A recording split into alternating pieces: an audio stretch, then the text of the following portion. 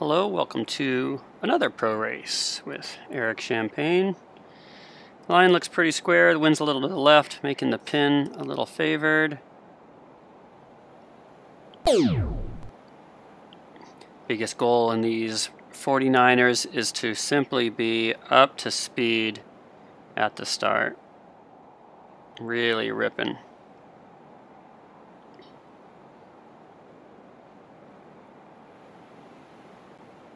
Guy who's to try to snake down. And he will do it successfully.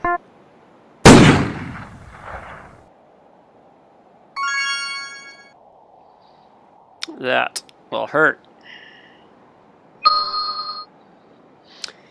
I didn't get my bow down in time to get across his bow and I fouled him. So we'll move on from here. I'm in a little left shift. Wind is staying pretty steady, maybe slightly increasing.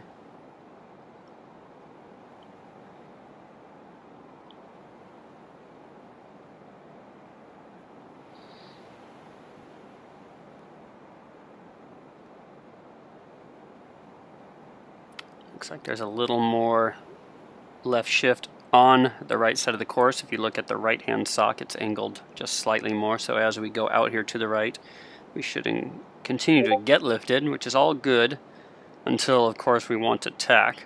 And we're coming back on a header. Try to watch the middle sockets also going left. That's usually a bad sign.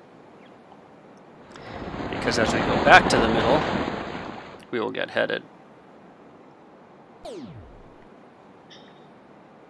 Sorry, boat 43244.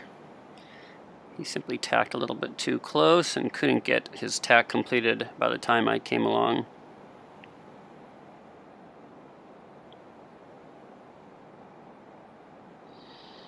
So I don't think we'll be too far behind.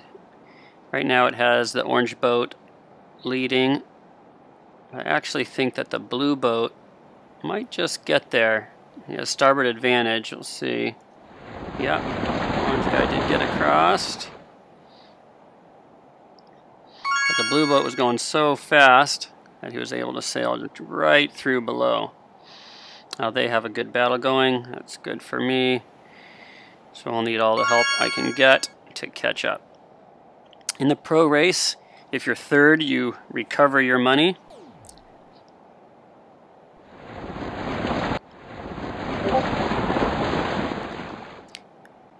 If you are second, you get $50 coins, and if you win, you get a 100.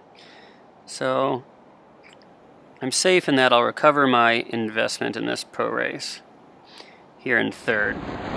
So what that allows me to do is take a little bit of risk,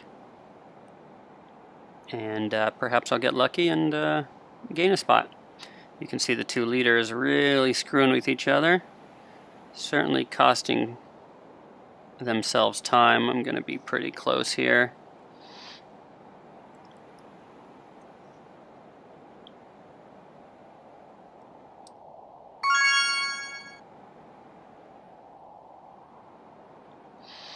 couldn't make my mind up at the leeward mark and ended up a little head to wind and slow. We'll take a look at the socks now and the wind speed. Wind speed's staying pretty pretty even. The wind socks go hard left. I'll be looking okay. The leader's coming out left as well. Usually they screw with each other a little more.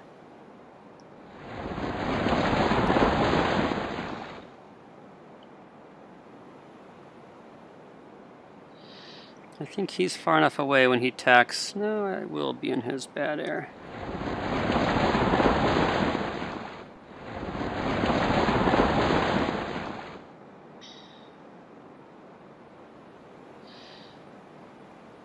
I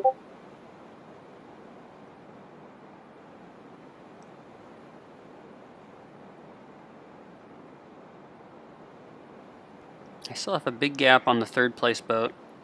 So I simply just need to sail well and hope that the two of them mess with each other a bit.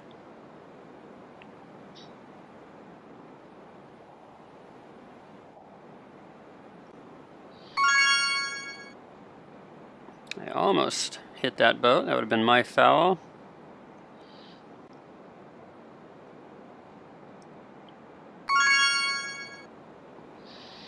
Alright, let's see what the wind speed's doing here. It's actually dropping. So at this point in the race, first is out of hand. So all I can do is get second or third. So we will jibe on Tommy Tambull. Tommy can be a bit aggressive. We've sailed with him before, so we will just see what happens.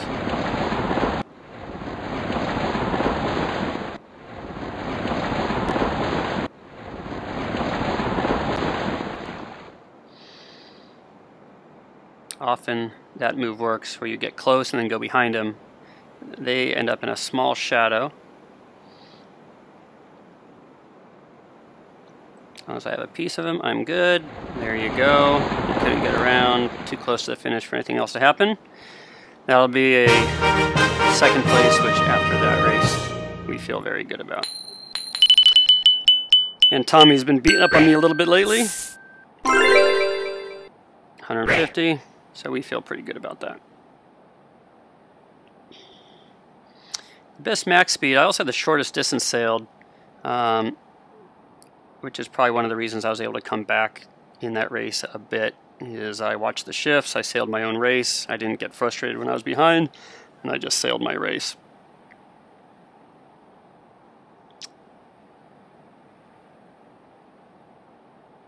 And you can see I just slowly climbed up after my poor start. Thank you for watching.